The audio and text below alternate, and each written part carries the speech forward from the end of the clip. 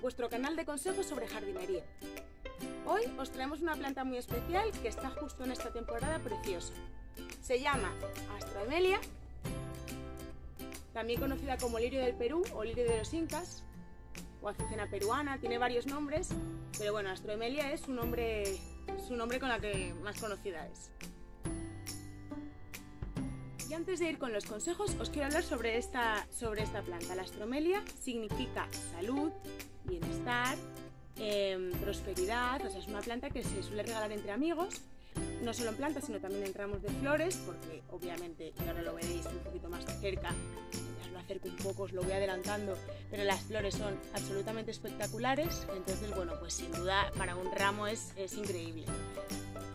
Lo primero que os voy a contar es sobre la ubicación. Es importante que esté a sol o semisombra, ¿vale? Necesita mucha luz y si puede ser que no sea el sol directo, mejor. La mayor parte de las plantas de exterior van a necesitar que no les dé demasiada luz directa, o sea, demasiado sol directo en el verano porque tienen mucho peligro de deshidratarse, necesitarán también más agua y bueno, el cuidado puede ser eh, puede ser complicado. Si lo vais a tener a pleno sol, os recomendaría irlo progresivamente poniendo para que la exposición sea menos dura desde un principio y la sacáis pues un día, otro día semisombra y así poco a poco hasta que se vaya habituando al sol directo. Em, bueno, las flores que decir son absolutamente espectaculares eh, y para mantenerlo, como os decía, desde ahora, desde finales de la primavera, ahora estamos ya en verano, hasta finales de verano, es importante un buen abonado. El sustrato siempre os digo que es fundamental, un buen sustrato para que la planta crezca bien, que tenga los nutrientes necesarios. Y luego siempre está bien darle un aporte antes de la primavera para que coja fuerza y salgan estas flores. Eh, os las voy a enseñar para que veáis un poco, pues bueno, cómo están creciendo, cómo están saliendo nuevas. Todavía está, es que está justo perfectamente ahora mismo en la mejor época. Entonces, bueno, está precioso. Entonces, el abonado, súper importante. ¿Qué hacemos? Antes de la primavera, abonamos y ahora mismo, más o menos en esta fecha, un mes y medio, un mes, un mes y medio después, eh, volvemos a hacer un abonado para que esta floración dure todo el verano. Bueno, tengo por aquí eh, todas las que tenemos en nuestro vivero. Esta, la amarilla, es espectacular. Quizá esta es un poquito, nos ha salido eh, más pequeñita, pero bueno, está, está saliendo. Veis que están saliendo nuevas florecillas y bueno, está, está en ello.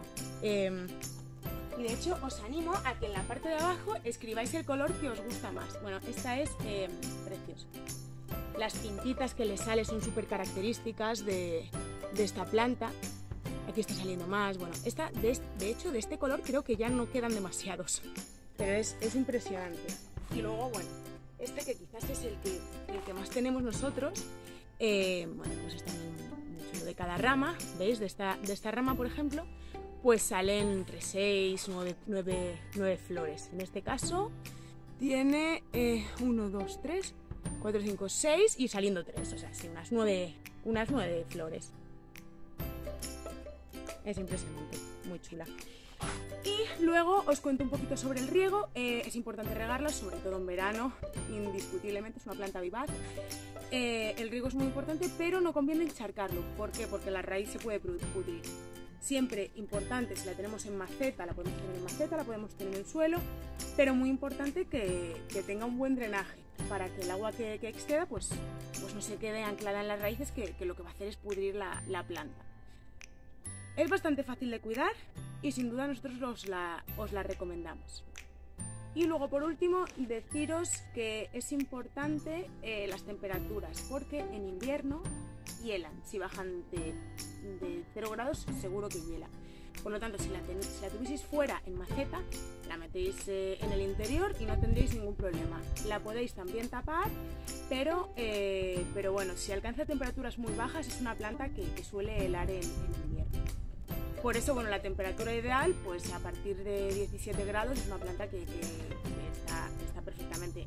Por la noche puede refrescar más, pues nada, que baje a 10 grados, a 8 grados, pero no temperaturas bajo cero, ya que sí que, sí que llega. Espero que os haya gustado la estromelia, si no la conocíais espero que, que, os haya gustado mucho, creo que es una planta que merece mucho la pena tener en vuestro jardín, así como regalarla a algún amigo y, nada, me despido de vosotros. Eh, hasta el próximo vídeo. Un abrazo muy fuerte.